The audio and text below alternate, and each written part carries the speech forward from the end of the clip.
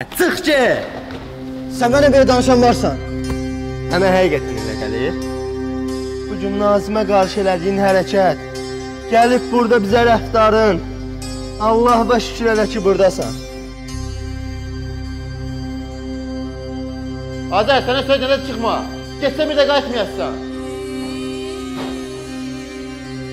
Artıq getməyə tələsirsən? Səbirli ol Azər. Bizim planlarımız tezliklə yerinə yetəcək.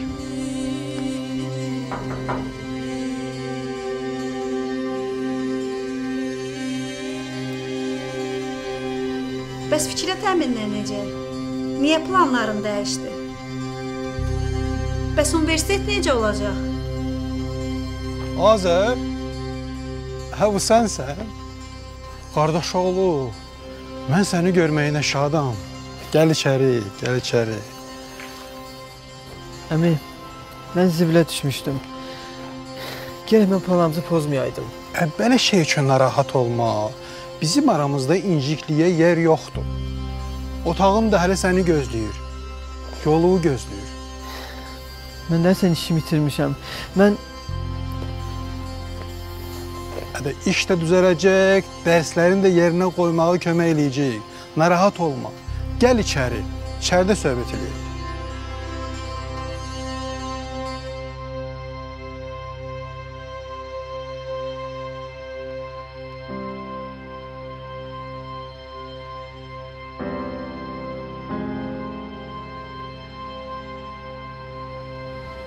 Azər, biz çoxdandır ki dostuq, ancaq sən ailən haqqında mənə çox danışmamısan. mən səni bezdirmək istəmirdim.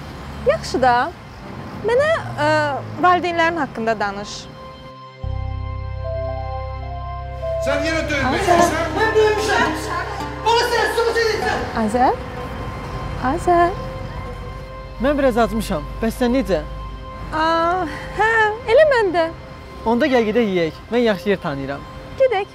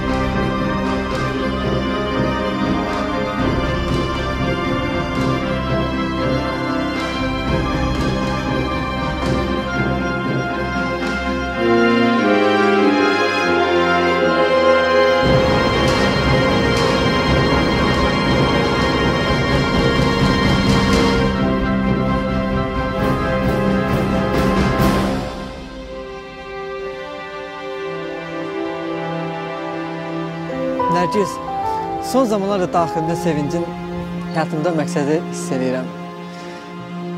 Məncə bunun səbəbi sənsən. Sənin olanda qayğılarımı unuduram. Sənin yanında çox yaxşı insan oluram. Azər, inanıram. Mənə də çox xoşdur. Onda elçilərini göndər.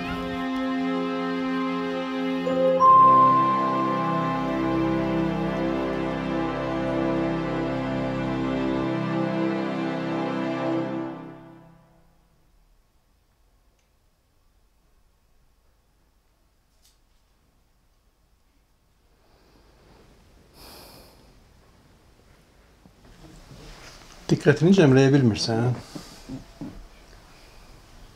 Mən o baxışları bilirəm. Nə olub əmi? Sən atanla söhbət barədə düşündünmü? Mənim həyatımda bu qədər şey baş verərkən mən onun haqqında necə düşünə bilərəm?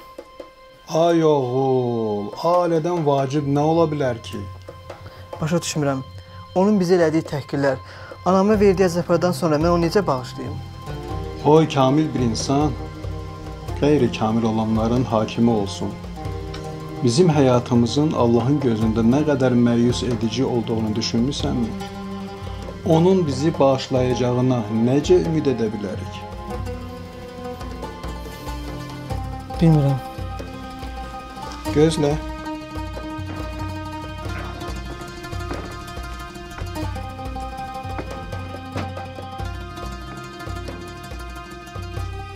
Kasıb bir adam öz ağasından böyük məbləğdə pul borc aldı. Ağa ondan pulu ödəməsini tələb edəndə adam ondan möhlət istədi. Ağa adamı rüsvəy etməmək üçün ona mərhəmət göstərdi. Bundan dərhal sonra adam ona kiçik bir məbləğ borclu olan adamla qarşılaşdı.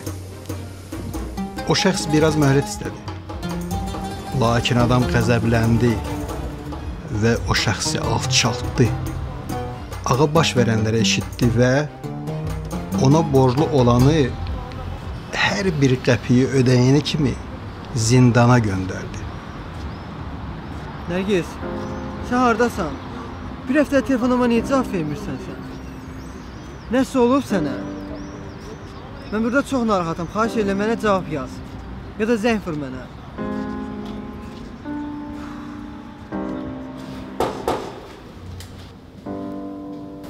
Azər, sən burada nə edirsən?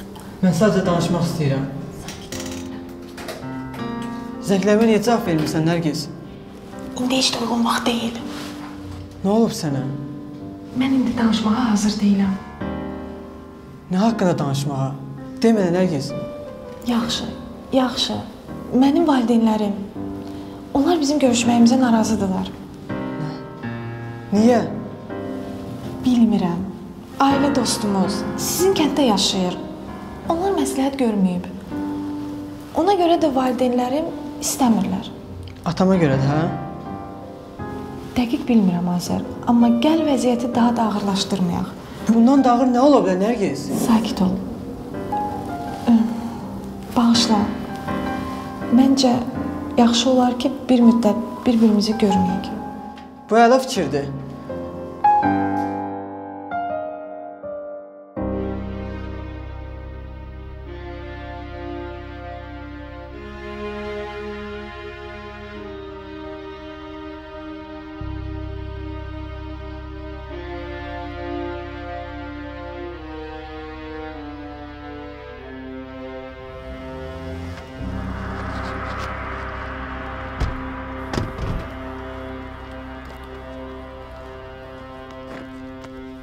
Azər, burada nə edirsən? Nə istəyirsən? Sən axmaqsan. Bizə elədiklərindən sonra gərək buralarda görsənməzdin.